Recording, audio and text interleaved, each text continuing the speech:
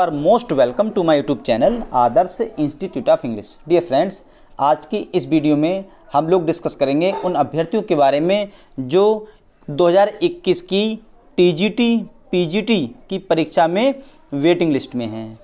उनके बारे में हम लोग डिस्कस करेंगे, उसके बाद में लास्ट में थोड़ा डिस्कस करेंगे एलटी ग्रेड के बारे में। तो जैसा कि आप देख सकते हैं थंबनेल लिखा है कि वेटिंग वालों की ज्वाइनिंग कब होगी, क्या वेटिंग क्लियर हो जाएगी क्या सभी वेटिंग वालों को ज्वाइनिंग मिल जाएगी? तो कुछ अभ्यर्थी हैं, कुछ के माइंड में ये डाउट हैं, कुछ क्वेश्चंस ये हैं कि ऐसा हो सकता है क्या? क्योंकि 25 परसेंट वेटिंग भी बहुत हो गई। आप मान सकते हैं, अगर कहीं पर 100 सीट्स हैं और उसमें से 25 परसेंट वेटिंग है मतलब 25 सौ में से 25 लोग वेटिंग में। तो क्या हो सकता है कि 100 में से 25 लोगों को बेटिंग में जो आए, उन्हें जॉब मिल जाए? तो शुरू करते हैं आज की वीडियो अगर आप चैनल पर नए हों तो प्लीज़ चैनल को सब्सक्राइब करें वीडियो को लाइक करें कमेंट करें शेयर करें। तो आगे बढ़ते हैं। देखिए, जैसा कि 2021 का आपका रिज़ल्ट डिक्लेयर हो चुका है, जिसमें हर बार में थोड़ा ये दो चेंजिंग इसमें हुई हैं। पहली टीजीटी में पहली बार ऐसा हुआ है कि आपका इंटरव्यू नहीं हुआ है।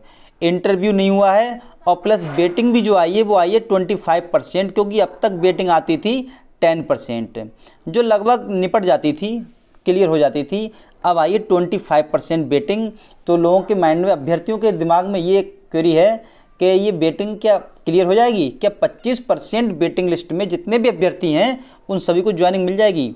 तो देखिए, अब मैं आपको एक बताता हूँ कि करीब सपोज़ दैट आपकी 500 कुछ सतासी, लगभग 500 मान लेते हैं 500 सीट्स हैं। तो 500 सीट्स का मतलब हुआ 100 पे होते हैं 25 तो 1000 पर 250 इसका मतलब करीब साढ़े सात सौ। सॉरी, इतना नहीं। जैसे ऐसे ही निकाल लें तो अगर 25 परसेंट मानेंगे अब तो 100 में से हो गए 25 तो 1000 में हो गए 250 1000 में 250 और सवाई सौ और हो गई ये 500 में से इसे निकालेंगे तो करीब हो जाएँगे आपके 375 के लगभग। फ़िलहाल जो 25 परसेंट आपकी बेटिंग आई है, ये क्लियर होगी नहीं हो, कैसे नहीं होगी, या किस तरह से होगी?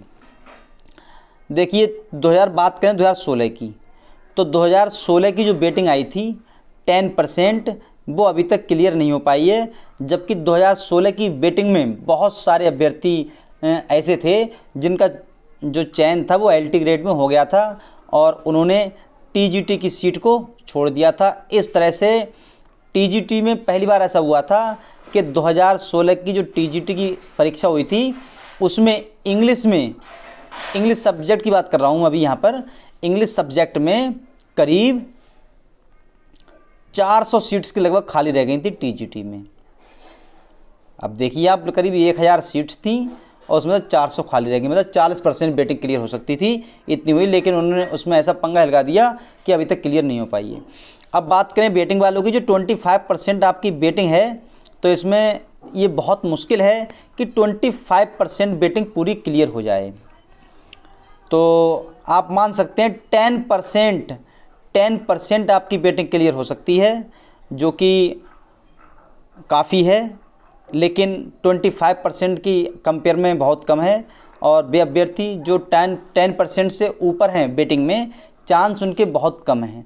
टेन से पंद्रह परसेंट तक हो सकता है बेटिंग क्लियर हो जाए, लेकिन पच्चीस परसेंट तक बेटिंग क्लियर नहीं हो सकती। जो अभ्यर्थी करीब बीस बीस परसेंट में या पच्चीस परसेंट में हैं, वो उन्हें मैं ये सजेस्ट करूँगा कि अपनी वो नेक्स्ट प्रिपरेशन में लग जाएँ। इसमें बहुत मुश्किल है और twenty five percent betting clear नहीं हो पाएगी। टेन या टेन से लेकर ट्वेल्व या हद मत हो जाएगा तो फिफ्टीन परसेंट बेटिंग क्लियर हो सकती है। आप कह रहे हैं क्या सबको मिल जाएगी? तो क्लियर हो गया, सबको नहीं मिल पाएगी। और कह रहे हैं बेटिंग क्लियर होगी कब तक? तो देखिए, अभी तो जो फ्रेश वाले कैंडिडेट्स हैं, उन्हीं को ज्वाइनिंग नहीं मिली है। उनका जो कॉलेज चॉइस था, उनतीस अक्टूबर तक था ये। तो अगर दो एक दिन में कोई नोटिफिकेशन आ रहा है, तब तो ठीक है। वरना दीपावली के बाद इनका कोई नोटिफिकेशन आएगा, तब कहीं इनका अगर वेरीफिकेशन होता है डॉक्यूमेंट का तो जाना होगा इलाहाबाद प्रयागराज जाना होगा। तो उसमें दस दिन तो आपके लग ही जाएँगे। तो आप मान सकते हैं, इनकी अगर ज्वाइनिंग नवंबर नवंबर में कंप्लीट हो गई पूरी। अब देख लेना आप, नवंबर में अगर पूरी कंप्लीट हो गई ये तो उसके बाद में नवंबर, दिसंबर, जनवरी में कहीं जाके आपकी बेटिंग पर ध्यान दिया जाएगा। जनवरी में। क्यों? क्योंकि अभ्यर्थी अब जाएँगे, इनका पैनल जाएगा। तो सपोज़ दैट किसी विद्यार्थी ने, अभ्यर्थी ने कॉलेज गया वो। या कॉलेज नहीं पहुँचा, उसका पैनल पहुँच गया लेटर पहुँच गया। पंद्रह दिन का टाइम दिया होता है, पंद्रह दिन वो नहीं पहुँचा। हो सकता है कभी कभी लेट भी हो जाते हैं कि कभी कभी जो है मैनेजमेंट की वजह से लेट हो जाते हैं। पता चला कि उसने एक महीने में ज्वाइन किया है बीस दिन में ज्वाइन किया। उसके बाद उसका बेड दिखा, कहीं कहीं पर ज्वाइन नहीं करते हैं तो कहीं पर दोबारा लेटर भेजा जाता है। फिर कहीं कहीं जब दोबारा लेटर भेजते हैं तो इसमें भी पंद्रह बीस दिन ख़राब होते हैं।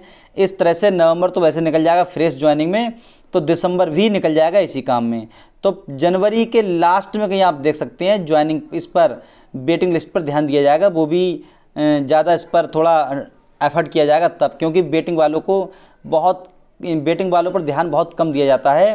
जैसा कि 2016 के अभ्यर्थी जो हैं जितने भी अभ्यर्थी हैं टेन परसेंट वाले, वो तो आएँगे ही, वो तो सिलेक्ट हैं, लेकिन इसके बाद भी टेन परसेंट बेटिंग ऑन निकाल दें, तब भी सीटें खाली रह जाएँगी, इतनी सीटें खाली हैं दो हज़ार सोलह वाले में, लेकिन तब भी बेटिंग वाले को ज्वाइनिंग नहीं मिल पाई है। तो मैं लास्ट में आपसे ये कहना चाहूँगा कि टेन परसेंट में जो अभ्यर्थी हैं, वो तो थोड़ा बेफिक्र बेफिक्र हो जाएँ, उन्हें, उन बेटिंग वालों को ज्वाइनिंग मिल जाएगी, लेकिन टेन परसेंट से जो ऊपर हैं उनकी ज्वाइनिंग जैसे आगे बढ़ती जाएगी, ग्यारह परसेंट, बारह परसेंट, तेरह परसेंट तो उनकी ज्वाइनिंग के चांसेस कम हैं। और जनवरी के लगभग इन पर बेटिंग वालों को ध्यान दिया जाएगा। तो माय डियर फ्रेंड्स ये थी आज की वीडियो धन्यवाद।